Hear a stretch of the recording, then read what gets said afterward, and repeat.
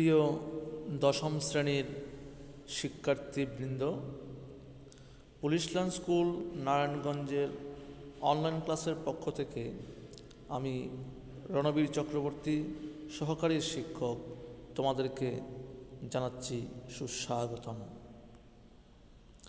প্রিয় শিক্ষার্থীবৃন্দ, আমরা ভূগোলের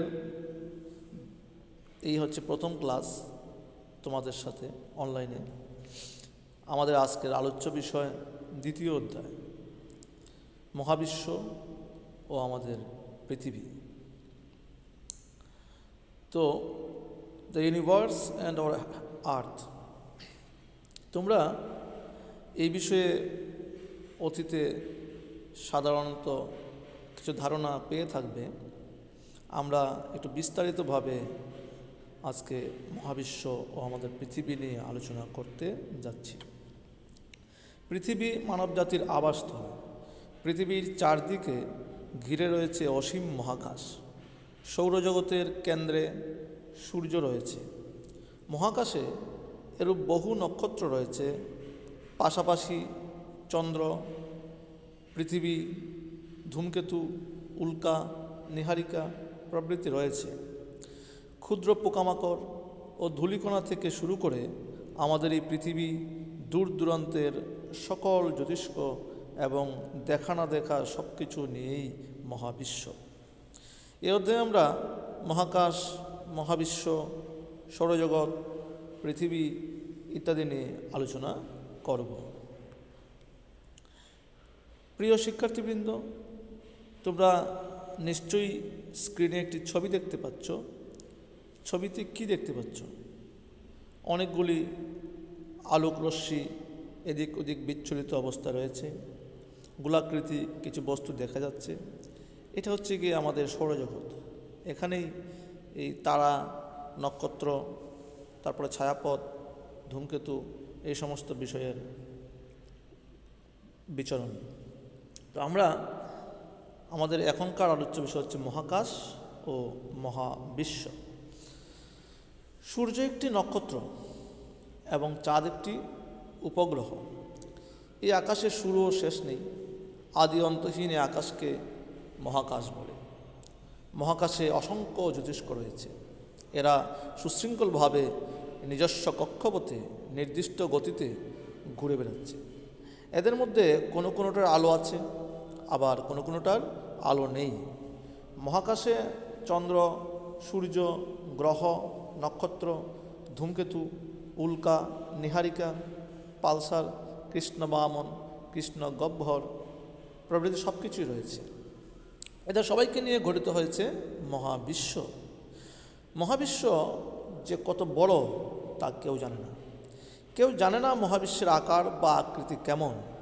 অনেক বিজ্ঞানী মনে করেন মহাবিশ্বের শুরু ও শেষ নেই। আবার কেউ কেউ এখনও বিশ্বাস করেন। মহাবিশ্বের আকার ও আকৃতি আছে। মানুষ প্রতিনিয়তই মহাবিশ্ব সম্পর্কে নতুন নতুন তথ্য আবিষ্কার করছে।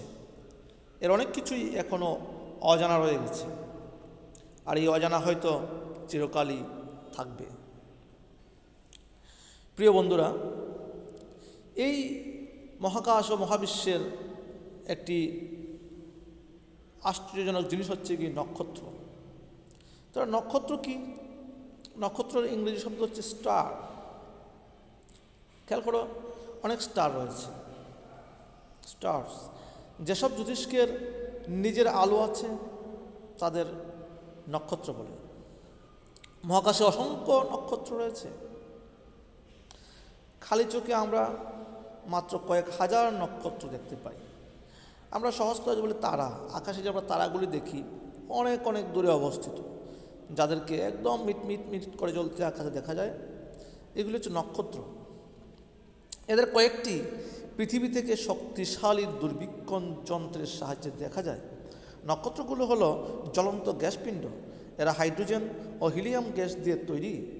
এই গ্যাস অতি উচ্চ তাপমাত্রায় জ্বলছে, যা হচ্ছে প্রায় ছয় হাজার ডিগ্রি সেলসিয়াস তাপমাত্রায়। সূর্যের প্রখর আলোর জন্য দিনের বেলায় অন্যান্য নক্ষত্র দেখা যায় না।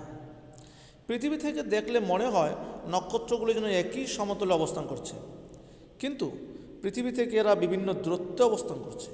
পৃথিবী ও নক্ষত্রের মধ্যে এবং নক্ষত্রদের পরস্পরের মধ্যে দূরত্ব এত বেশি যে কিলোমিটার দ্বারা এই দূরত্ব প্রকাশ করা যায় না।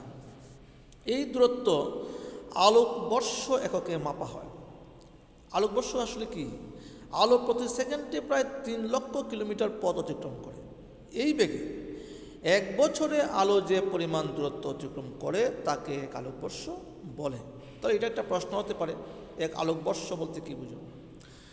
সূর্য পৃথিবীর নিকটতম নক্ষত্র। সূর্য থেকে পৃথিবীতে আলো আসতে সময় লাগে আট মিনিট উনিশ সেকেন্ড। সূর্যের নিকটতম নক্ষত্র প্রক্সিমা স্যান্টোরাই পৃথিবী থেকে এর দূরত্ব প্রায় চার দশমিক দুই আলোকবর্ষ। তাহলে নক্ষত্র আমরা তখন নক্ষত্র সম্পর্কে জানলাম। এখন আলোচ্য বিষয় হচ্ছে নক্ষত্র মণ্ডলী। তাহলে খেয়াল করো, মেঘমুক্ত অন্ধকার রাতে আকাশের দিকে তাকালে মনে হয় কয়েকটি নক্ষত্র বিশেষ আকৃতিতে মিলে জোট বেঁধেছে। এভাবে আমাদের পরিচিত আকৃতিতে নক্ষত্র দলকে নক্ষত্র মণ্ডলী বলে। প্রাচীনকালে জ্যোতির্বিজ্ঞানীরা এক একটি নক্ষত্র দলকে কাল্পনিক রেখা দ্বারা যুক্ত করে বিভিন্ন আকৃতি কল্পনা করে বিভিন্ন নাম দিয়েছে। এদের কোনোটা দেখতে ভল্লুকের মতো, কোনোটা শিকারীর মতো। এদের মধ্যে সপ্তর্ষি মণ্ডল, কালপুরুষ, কেসুপিয়া লঘু সপ্তর্ষি বৃহৎ কুকুরমণ্ডল ইত্যাদি উল্লেখযোগ্য।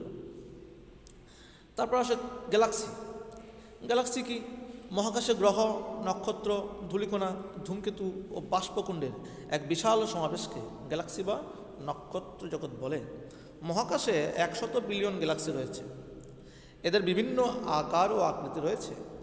তবে এদের অধিকাংশই সর্পিলাকার বা উপবৃত্তাকার। সর্পিলাকার গ্যালাক্সিগুলো বৃহৎ আকৃতির এবং উপবৃত্তাকার গ্যালাক্সিগুলো বেশি উজ্জ্বল। এরা পরস্পর ব্যাপক ব্যবধানে অবস্থিত। কোনো একটি গ্যালাক্সির ক্ষুদ্র অংশকে ছায়াপথ বলে। তাহলে আমরা আজকের আলোচনা এ পর্যন্তই। আগামীতে আরও বিস্তারিত আলোচনা হবে, আমরা অন্য একটা বিষয় নিয়ে আসব। তো এই আলোচনার ভিত্তিতে তোমাদের কিছু বাড়ির কাজ দিচ্ছি। তোমরা এগুলি বাসায় প্র্যাকটিস করবে। প্রথমত হচ্ছে মহাকাশ বলতে কী বুঝো? মহাবিশ্ব বলতে কী বুঝো? তারপরে নক্ষত্র কী? নক্ষত্রমণ্ডলী বলতে কী বুঝো? গ্যালাক্সি বলতে কী বুঝো? আমি আর একটা যোগ করে দিচ্ছি। আলোকবর্ষ বলতে কী বুঝো? এই কাজগুলি তোমরা বাসায় করে গ্রুপে আপলোড দিবে। তাহলে আজকে এই পর্যন্তই। ধন্যবাদ।